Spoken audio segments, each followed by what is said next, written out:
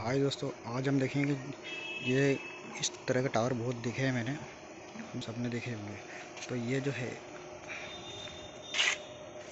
इसके चारों ओर से ये दीवार होनी चाहिए। एक एक की एक एक ईट की जोड़ी कर देनी चाहिए। तो इससे फ़ायदा ये रहता है पड़ोसी के पानी नहीं जाता यानी कि आपके जो पड़ोस में रहते हैं उनके पानी नहीं जाएगा बरसात में। तो इस तरह से पानी बह के इसमें आ, आ जाएगा देखिए आइडिया है। आइडिया के तौर पर ये वीडियो बनाया गया है। क्योंकि बहुत सारे मैंने घर देखे जिनमें ये बना ही नहीं नहीं जाते हैं। एक एक रद्दा लगा नहीं जाता है। तो इस तरह कन्फर्म बना सकते हैं आप।